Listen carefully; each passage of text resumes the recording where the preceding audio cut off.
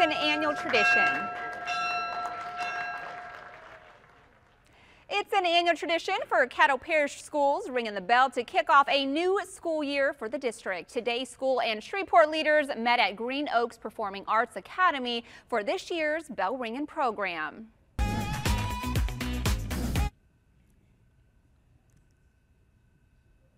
Numerous school districts, including Caddo, started up today, including one school that's celebrating its centennial. KSLA News 12 Michael Barnes has that story.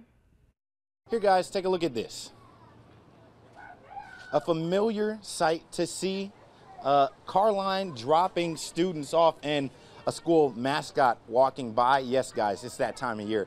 Back to school time is here. And Caddo Schools they're starting today. They started today. I'm here at Fairfield Elementary Magnet School where that Bulldog is welcoming students. A 37,000 student population Caddo Schools has, and several of those students go here at Fairfield Elementary Magnet. And while we are here at Fairfield Elementary Magnet, we're highlighting them as they're celebrating their 100th birthday. Fairfield Elementary Magnet is celebrating its centennial, and their principal is more than excited to go into this school year.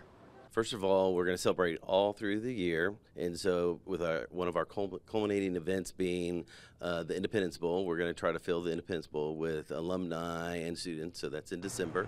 So we're excited about that. But every month we're going to do something different, uh, including uh, a uh, hundred different uh, charity events. So, so like for Red Ribbon Week in October, we're going to give instead of just wearing a uh, like sock day, we're going to give 100 pairs of socks to a local charity and things like that. So uh, do that throughout the year, and so everything's going to be 100 at Fairfield. To help Fairfield celebrate its 100th year as a school in Caddo Schools, I'm standing here with the man himself, the Bulldog, Fairfield's Bulldog. Let me ask you real quick, how are you feeling about going into 100 years of Fairfield Elementary Magnet?